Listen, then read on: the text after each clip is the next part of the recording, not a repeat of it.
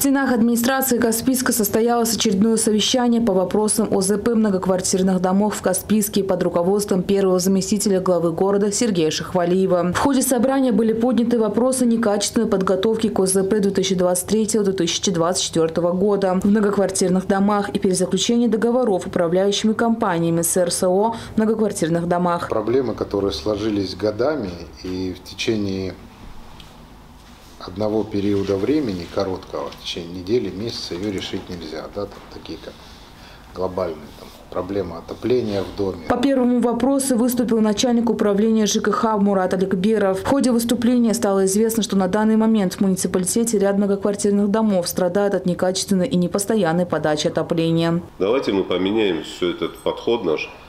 А, почему? Потому что в любом случае это ваша работа, и э, вы сами выбрали ее для себя. Поэтому давайте вы будете оказывать э, значит, качественные услуги, те, которые вы должны оказывать услуги.